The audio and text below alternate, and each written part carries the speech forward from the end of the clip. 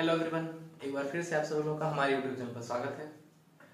तो पेट examination preparation में जो अंग्रेज़ी सब्जेक्ट अंग्रेज़ी विषय हम लोग पढ़ रहे हैं तो उसकी इस कंटिन्यूएशन वीडियो में अब तक हम लोग इसके पहले पढ़ चुके हैं subject and predicate sentence sentence के प्रकार, कैसे संरचना के आधार पर सेंटेंस कितने प्रकार के होते हैं। फिर पिछली वीडियो में हम लोगों ने पढ़ा कि क्वेश्चन टैग क्या होता है उसकी पहचान कैसे करते हैं और एग्ज़ाम्पल में कैसे उसको यूज़ करते हैं। आज हम लोग देखेंगे फिगर ऑफ़ स्पीच के बारे में। तो फिगर ऑफ़ स्पीच एक बहुत बड़ा ब्रॉड स्पेक्ट्रम है, लेकिन पेट एग्जामिनेशन में एग्ज़ाम में इतना ब्रॉड लेवल का एग्ज़ाम क्वेश्चन नहीं पूछेगा। तो क्वेश्चन को जल्दी जल्दी सॉल्व करने के लिए एक ओवरऑल हमको कॉन्सेप्ट क्लियर होना चाहिए, ठीक है? तो वही देखा जाएगा। तो देखिए क्या होता है पार्ट्स ऑफ़ स्पीच जैसे कि आप लोग पढ़े होंगे संज्ञा, सर्वनाम, विशेषण, क्रिया विशेषण, ठीक है? तो वही चीज़ है सेम इंग्लिश ग्रामर में। जैसे कि क्या होता है? Noun pronoun adjective verb adverb preposition conjunction और इंटरजेक्शन आठ इसके तत्व होते हैं, ठीक है? तो नाउन क्या होता है? जैसे मतलब कि हिंदी में पढ़ते हैं, संज्ञा किसे कहते हैं? किसी व्यक्ति, वस्तु, स्थान या चीज़ के नाम को संज्ञा कहते हैं। ठीक है? तो वही noun is a person place animal place और थिंग सॉरी तो क्या हो गया? ये हो, कितने प्रकार का होता है? मुख्यतः ये कितने प्रकार का होता है भैया? पाँच प्रकार का होता है। कितने प्रकार का? पाँच। Proper noun common noun collective noun material noun और एब्स्ट्रैक्ट नाउन ठीक है?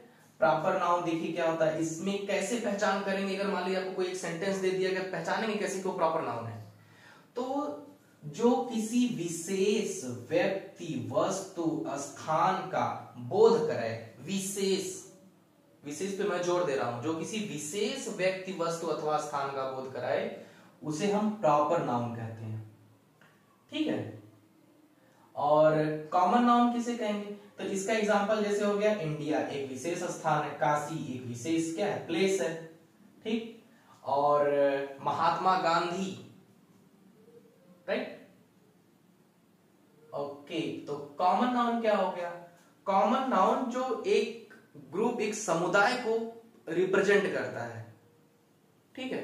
जैसे मान लीजिए एनिमल क्या हो गया? या फिर मान लीजिए कि डॉग एक कैटेगरी हो गई, ठीक है? तो डॉग मान लीजिए एक सॉरी यह डॉग अब अगर मान लीजिए डॉग में किसी का नाम कोई रख दिया टॉमी तो इसका प्रॉपर नाम हो गया, और ये क्या हो गया? कॉमन हो गया. ठीक? अब मान लीजिए एक्सेसरीज मैं एक कोई वर्ड बोला एक्सेसरीज किसी पार्ट की एक्सेसरीज है, या फिर इसको छोड़िए, मैं बोल रहा हूँ मोबाइल तो ये कॉमन हो गया। ठीक है? अब अगर मैं बोल रहा हूँ मोबाइल की अपेक्षा, जैसे मान लीजिए कि वीवो या फिर सैमसंग एक इसका प्रॉपर हो गया ना? इसका प्रॉपर नेम हो गया। समझे एग्जांपल के लिए। कलेक्टिव नाम क्या होता है? जो किसी समूह को दर्शाए, जैसे कि भेड़ों का झुंड या फिर एक आर्मी, समझ रहे हैं ना, एक ग्रुप को, समुदाय को जो समझे दर्शाए। तो देखिए यहाँ पे फ्लॉक, क्लास, फिर उसके बाद आता है हमारा मटेरियल। तो ऐसा पदार्थ जिससे कोई और वस्तु बन सके, या फिर हाँ कोई और वस्तु बन सके, वो मटेरियल नाम कहलाता है।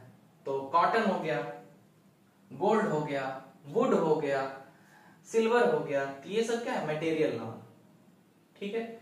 आगे क्या है? एब्स्ट्रैक्ट नाउन क्या होता है? जो जिससे किसी गुण, कार्य अथवा अवस्था का बोध हो, उसको हम लोग क्या बोलेंगे? अब्स्ट्रैक्ट नाउन बोलेंगे। तो जैसे देखिए क्या है? ये स्ट्रेंथ उसका क्या है? अवस्था है, मजबूती है। सक्सेस कनेक्शन ठीक? तो ये सब, यानी कि जिससे किसी हम, जैसे मान लीजिए कि the China and India connection has been stabilized for the further upcoming years, you know, like a proper way. एक अच्छे तरीके से मज़बूत तरीके से दोनों में एक अच्छा कनेक्शन अब स्टेबलाइज हो गया है। तो इस ये रहे कुछ क्या? नाउन के बारे में जानने के लिए कि क्या होता है नाउन प्रोनाउन क्या होता है? जो संज्ञा के स्थान पर यूज़ हो उसी को हम लोग क्या कहते हैं? प्रो नाउन मतलब बहुत प्रो है वो। ठीक है? तो देखिए जो संज्ञा के स्थान पर उपयोग किया जाए, उसको प्रोनाउन कहते हैं। जैसे कि एग्ज़ाम्पल में ले लीजिए मतलब समझे ही सी इट और दे ठीक है? ब्ला ब्ला ब्ला यू तो जैसे मान लीजिए कि मैं एग्ज़ाम्पल बोलू। Mohan is watching my videos on YouTube channel but he is not subscribing the channel तो मोहन के जगह पे बाद में हम लोग क्या बोले ही इज़ नॉट सब्सक्राइबिंग तो वहाँ पे ही शब्द क्या हो गया? प्रोनाउन हो गया।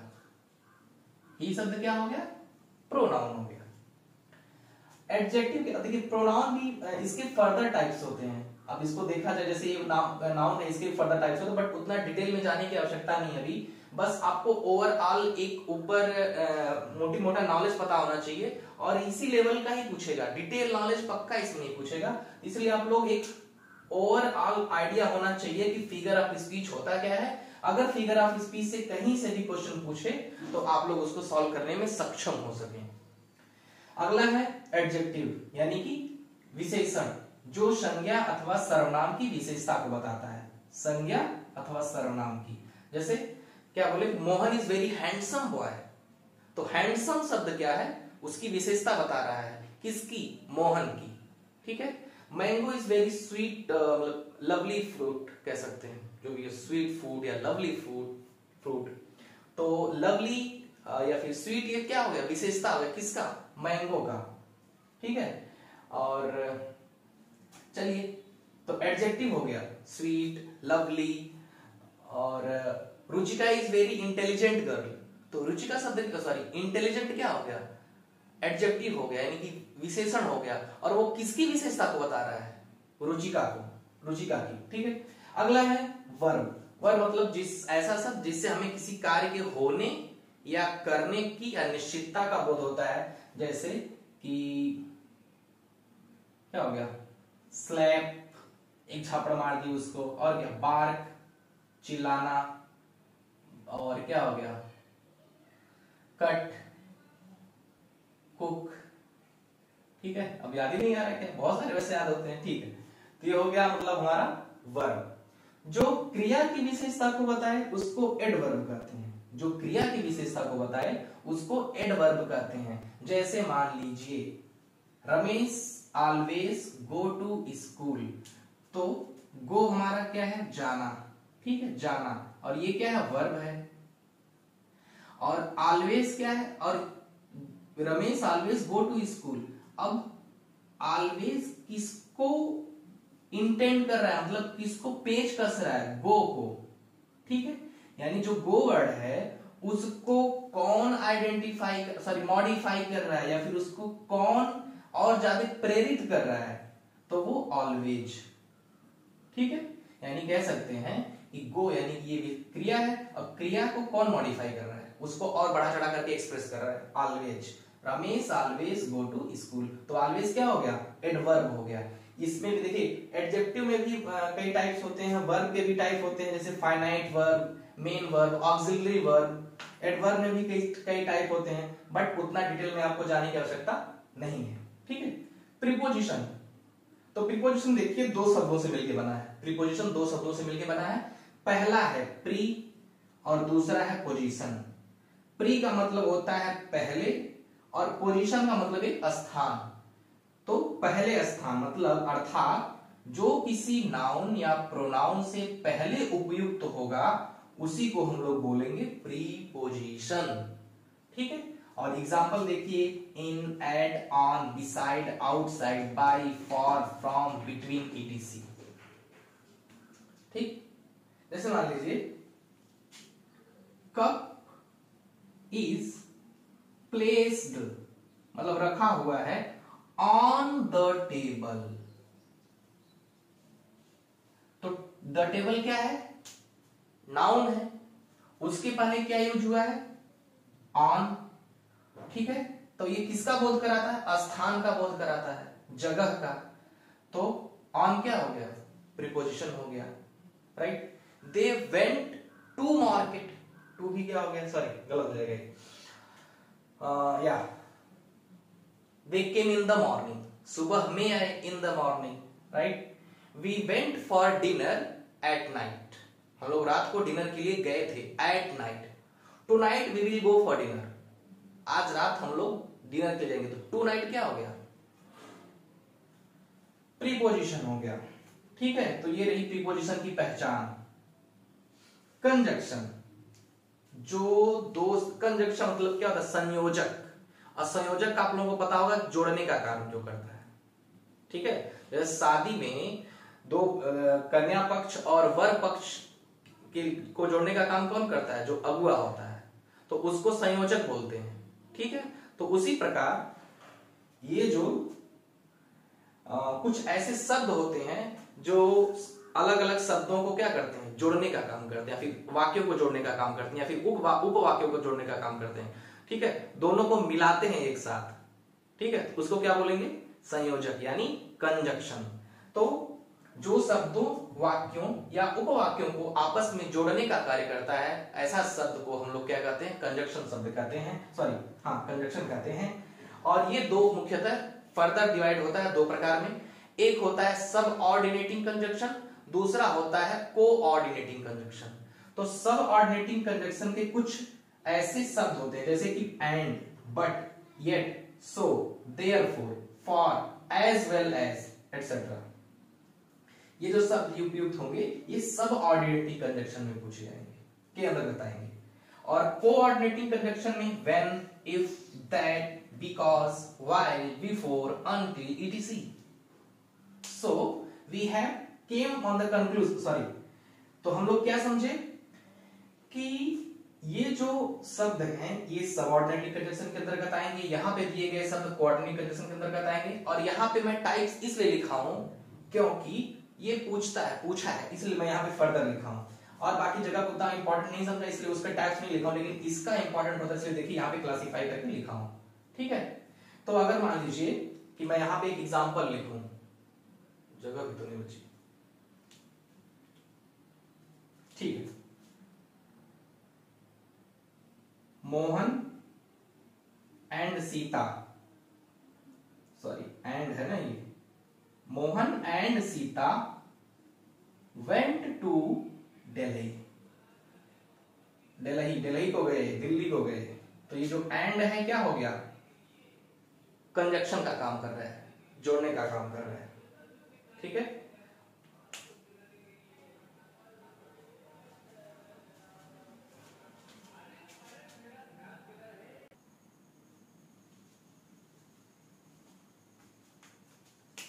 तो देखिए कंजक्शन का अगर एग्जांपल देखा जाए तो अगर एग्जांपल लिखूं लिखूं I sorry I texted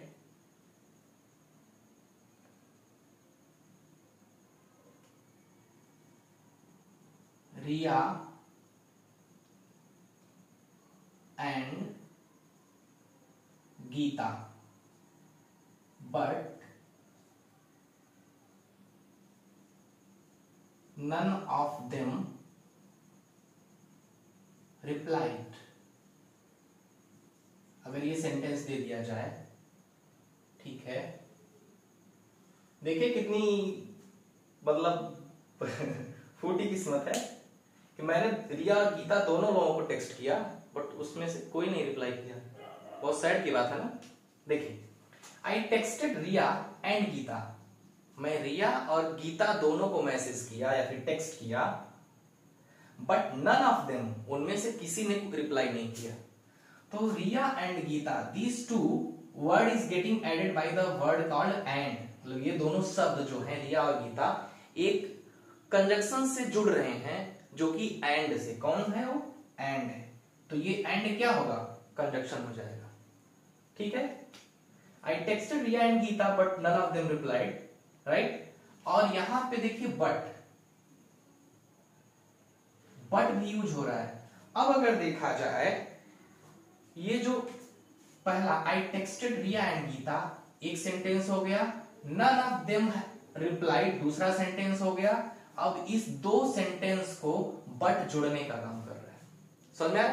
इस पहले सेंटेंस को और दूसरे सेंटेंस को किसके द्वारा जोड़ा जा रहा है? बी बीयूटी बट बट के द्वारा जोड़ा जा रहा है। तो बट भी क्या हो गया ये? कंजक्शन हो गया। कौन सा कंजक्शन कोऑर्डिनेटिंग सॉरी सब ऑर्डिनेटिंग कंजक्शन अब इसी में अगर मैं और सेंटेंस जोड़ दूँ, इसी में अगर एक सेंटेंस और जोड़ दूँ, यहाँ से देखिए क्या हो जाएगा। I texted Riya and Geeta but none of them replied therefore I stop texting them या फिर मैसेजिंग देम जो भी कहिए। ठीक है परिणाम स्वरूप या फिर जिसके फलस्वरूप मैं उन दोनों को मैसेज करना ही छोड़ दिया। ठीक है? तो I texted Riya and Geeta but none of them replied therefore आप यहाँ पे सो भी लगा सकते हैं आई स्टॉप टेक्सटिंग देम मैं उन दोनों को मैसेज करना छोड़ दिया। देखिए यहाँ पे एक सबऑर्डिनरी कंजक्शन क्या है? एंड है, दूसरा बट है। और यहाँ पे देखिए, तीसरे भाई साहब आ गए। और उनका नाम क्या हो गया? सॉरी देयरफॉर कहा गया? नहीं नहीं, वही है। वही है देयर फोर वही सबऑर्डिनेटिंग है। ठीक है? So therefore I stop messaging ठीक है? तो इस तरीके से कुछ एग्जांपल दिए जाएँगे। और पूछा जाएगा कि in the given phrases which of them having the subordinating और कोऑर्डिनेटिंग कंजक्शन ते आपको देख करके बताना रहेगा। ठीक है? लास्ट वाला हम लोग अपना पढ़ते हैं इंटरजेक्शन कि इंटरजेक्शन क्या होता है? राइट तो ऐसा शब्द जिनके द्वारा हर्ष, शोक, अब यहाँ पे किसी लड़के का नाम हर्ष नहीं है। मतलब हर्षोल्लास वाला हर्ष है। हर्ष, शोक आश्चर्य, घृणा, अनुमोदन, यानी कि क्या होगा? हर्ष, शोक हर्ष, शोक, आश्चर्य, घृणा, अनुमोदन आदि का बोध होता है। उसको हम लोग क्या कहेंगे? इंटरजेक्शन बोलेंगे। जिस भी सेंटेंस में दुख, पीड़ा, आश्चर्य, घृणा, अनुमोदन, यानी कि जैसे किसी, कोई चीज़, आप चाह रहे हो अप्रूव हो गया, अनुमोदन आदि का बोध हो उसको हम लोग इंटरजेक्शन की कैटेगरी में रखेंगे। जैसे, पहला क्या है दूसरा क्या है ओ, तीसरा क्या व्हाट और नेक्स्ट ब्राउ सेकंड शेम तो ये सब किसके अंतर्गत आएँगे इंटरजेक्शन के अंतर्गत आएँगे पहला एग्जांपल है hurray we have won the match मतलब हम लोग, खुशी की बात है, हम लोग मैच जीत गए। दूसरा अगर मान लीजिए, oh O no we have lost the match हम लोग मैच हार गए। फिर उसके बाद what what is this really possible क्या ऐसा संभव है? सरप्राइजिंग सब क्या है? Brave brave you have scored a good good marks in your exam next shame shame. On you you have did such kind of silly work a silly mistake. तो ये सब क्या कहलाएँगे? ये सब जो आएँगे, इनको जो रखा जाएगा, ये सब इंटरजेक्शन कहलाएँगे। ठीक है? तो अगले वीडियो में हम जब जितना कुछ पढ़े हैं मतलब इस फिगर पार्ट्स ऑफ़ स्पीच से इसका एग्जांपल देखा जाएगा। आप लोग तो जान गए कि हाँ पार्ट्स ऑफ़ स्पीच होता कैसे है, उसको पहचान कैसे करते हैं, होता क्या है, उसकी पहचान कैसे करते हैं। लेकिन एक्चुअल इंप्लीमेंटेशन नहीं पड़े यानी कि एग्ज़ाम्पल कैसे पूछेगा तो इसके अगली वीडियो में हम लोग उसके एग्ज़ाम्पल के बारे में देखेंगे। ठीक है?